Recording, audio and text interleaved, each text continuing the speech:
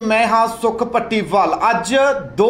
ਅਪ੍ਰੈਲ ਜਾਨੀ ਕਿ ਅੱਜ ਦੀਪ ਸਿੱਧੂ ਦਾ ਜਨਮ ਦਿਨ ਸੀ। ਅੱਜ ਦੇ ਦਿਨ ਦੀਪ ਸਿੱਧੂ ਨੇ ਇਸ ਦੁਨੀਆ ਤੇ ਜਨਮ ਲਿਆ ਸੀ। ਪਰ ਹੁਣ ਦੀਪ ਸਿੱਧੂ ਇਸ ਦੁਨੀਆ ਦੇ ਵਿੱਚ ਨਹੀਂ ਰਹੇ ਨੇ। ਪਰ ਦੀਪ ਸਿੱਧੂ ਨੂੰ ਚਾਹਣ ਵਾਲਿਆਂ ਦੇ ਦਿਲਾਂ ਦੇ ਵਿੱਚ ਦੀਪ ਸਿੱਧੂ ਅੱਜ ਵੀ ਅਮਰ ਨੇ, ਅੱਜ ਵੀ ਦੀਪ ਸਿੱਧੂ ਵੱਸਦੇ ਨੇ ਤਾਂ ਦੀਪ ਸਿੱਧੂ ਦੇ ਜਨਮ ਦਿਹਾੜੇ ਤੇ ਵੱਖ-ਵੱਖ ਥਾਵਾਂ ਤੇ ਦੀਪ ਨੂੰ ਚਾਹਣ ਵਾਲਿਆਂ ਦੇ ਵੱਲੋਂ ਜਿਹੜੇ ਇਹ ਖੂਨਦਾਨ ਕੈਂਪ ਸੀ, ਉਹ ਵੀ ਲਗਾਏ ਗਏ ਸੀ। ਤਾਂ ਦੂਜੇ ਪਾਸੇ ਦੀਪ ਸਿੱਧੂ ਦੀ ਆਖਰੀ ਨਿਸ਼ਾਨੀ ਦੇ ਵਜੋਂ ਦੇਖੀ ਜਾ ਰਹੀ ਫਿਲਮ ਸਾਡੇ ਵਾਲਾ ਜਿਹੜੀ ਉਹ ਰਿਲੀਜ਼ ਹੋਣ ਵਾਲੀ ਆ, ਜਿਸ ਦਾ ਅੱਜ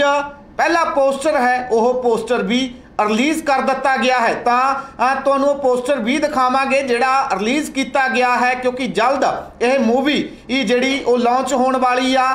ਦੱਸ ਦਈਏ ਕਿ ਇਸ ਮੂਵੀ ਦੀ ਡੇਟ ਹੈ ਜਿਹੜੀ ਉਹ ਤੈਅ ਕਰ ਦਿੱਤੀ ਗਈ ਹੈ 29 ਅਪ੍ਰੈਲ ਨੂੰ ਸਿਨੇਮਾ ਘਰਾਂ ਦੇ ਵਿੱਚ ਇਸ ਮੂਵੀ ਨੂੰ ਤੁਸੀਂ ਦੇਖ ਸਕਦੇ ਹੋ। ਦਰਅਸਲ ਇਹ ਜਿਹੜੀ ਮੂਵੀ ਹੈ, ਇਹ ਸਾਗਾ ਸਟੂਡੀਓ ਦੇ ਵੱਲੋਂ ਜਿਹੜੀ ਲਿਆਂਦੀ ਜਾ ਰਹੀ ਆ। ਤਾਂ ਤਸਵੀਰ ਦੇ ਵਿੱਚ ਇਸ ਵਕਤ ਤੁਹਾਨੂੰ ਸਾਡੇ ਵਾਲਾ ਮੂਵੀ ਜਿਹੜੀ ਦੀਪ ਸਿੱਧੂ ਦੀ ਆਖਰੀ ਮੂਵੀ ਦੇ ਵਜੋਂ ਦੇਖੀ ਜਾ ਰਹੀ ਆ, ਇਸ ਮੂਵੀ ਦੀ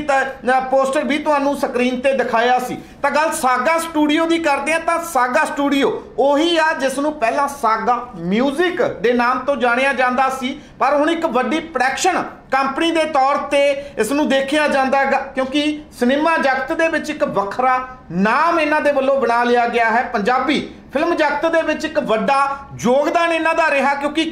ਕਾਫੀ ਸੁਪਰ ਹਿੱਟ ਫਿਲਮਾਂ ਨੇ ਜਿਹੜੀਆਂ ਇਹਨਾਂ ਦੇ ਵੱਲੋਂ ਦਿੱਤੀਆਂ ਗਈਆਂ ਨੇ। ਜਿਨ੍ਹਾਂ ਦੀ ਗੱਲ ਕਰ ਲਈ ਜਾਵੇ ਤਾਂ ਫਿਰ ਰੰਗ ਪੰਜਾਬ ਮੂਵੀ ਤੁਸੀਂ ਦੇਖੀ ਹੋਵੇਗੀ। ਜਾਂ ਉਸ ਤੋਂ ਪਹਿਲਾਂ ਸਨ ਆਫ ਮਨਜੀਤ ਸਿੰਘ, ਇਹ son of Manjeet Singh movie ਸੀ, ਗੁਰਪ੍ਰੀਤ ਸਿੰਘ ਘੁੱਗੀ ਹੋਰਾਂ ਦੀ ਬੜੀ ਸ਼ਾਨਦਾਰ ਮੂਵੀ ਸੀ। ਉਹ ਵੀ ਇਹਨਾਂ ਦੇ ਵੱਲੋਂ ਹੀ ਜਿਹੜੀ ਪੇਸ਼ ਕੀਤੀ ਗਈ ਸੀ। ਇਹ ਤਾਂ ਅਰਦਾਸ ਕਰਾਂ ਅਰਦਾਸ ਕਰਾਂ ਅਜਿਹੀ ਮੂਵੀ ਰਹੀ ਆ ਜਿਸ ਨੇ ਲੋਕਾਂ ਦੇ ਦਿਲਾਂ ਦੇ ਵਿੱਚ ਇੱਕ ਵੱਖਰਾ ਸਥਾਨ ਬਣਾਇਆਗਾ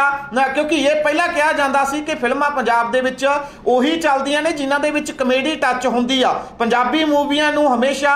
ਕਮੇਡੀ ਫਿਲਮਾਂ ਦੇ ਤੌਰ ਤੇ ਦੇਖਿਆ ਜਾਂਦਾ ਸੀ, ਪਰ ਸਾਗਾ ਸਟੂਡੀਓ ਦੇ ਵੱਲੋਂ ਇੱਕ ਵੱਖਰੀ ਮਿਸਾਲ ਹੈ ਜਿਹੜੀ ਉਹ ਵੀ ਕਾਇਮ ਕੀਤੀ ਗਈ ਹੈ ਕਿ ਪੰਜਾਬ ਦੇ ਵਿੱਚ ਭਾਈ, ਇਹ ਜਿਹੜੀਆਂ ਦੂਜੀਆਂ ਮੂਵੀਆਂ ਵੀ ਚੱਲ ਸਕਦੀਆਂ ਨੇ, ਕੱਲਾ ਪੰਜਾਬ ਇਹ ਨਹੀਂ ਹੈ ਕਿ ਤੁਹਾਨੂੰ ਕਮੇਡੀ ਹੀ ਦੇ ਸਕਦਾ ਹਸਮਈ ਫਿਲਮਾਂ ਨੇ ਜਿਹੜੀਆਂ ਕੱਲੀਆਂ ਉਹ ਹੀ ਦੇ ਸਕਦਾ, ਦੂਜੀਆਂ ਫਿਲਮਾਂ ਵੀ ਦੇ ਸਕਦਾ ਹੈ। ਕਈ ਰਿਕਾਰਡ ਤੋੜ ਫਿਲਮਾਂ ਇਹਨਾਂ ਦੇ ਵੱਲੋਂ, ਉਹ ਸਾਗਾ ਸਟੂਡੀਓ ਦੇ ਵੱਲੋਂ ਦਿੱਤੀਆਂ ਗਈਆਂ ਨੇ, ਜਿਹੜੀਆਂ ਆਧਾਰਨ ਬਣ ਗਈਆਂ ਨੇ ਕਿ ਪੰਜਾਬ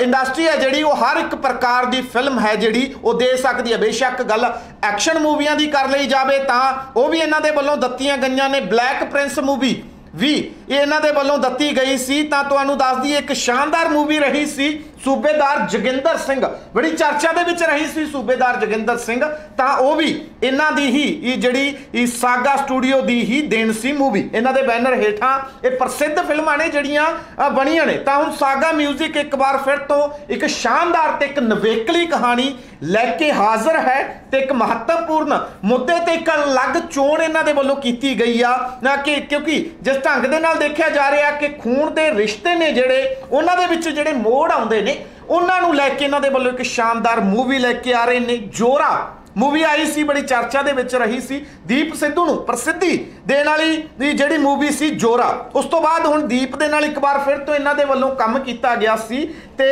ਸਾਗਾ ਸਟੂਡੀਓ ਦੇ ਵੱਲੋਂ ਹੁਣ ਇੱਕ ਵੱਡੀ ਫਿਲਮ ਮੁੜ ਤੋਂ ਜਿਹੜਾ ਬਠਿੰਡੇ ਵਾਲਿਆਂ ਦੇ ਨਾਲ ਕੰਮ ਇਹਨਾਂ ਦੇ ਵੱਲੋਂ ਕੀਤਾ ਗਿਆ ਤੇ ਮੂਵੀ ਮੂਵੀ ਦਾ ਨਾਮ ਵੀ ਆ ਜਿਹੜਾ ਤਾਂ ਉਹ ਪੇਸ਼ਕਾਰੀ ਆ, ਬੇ,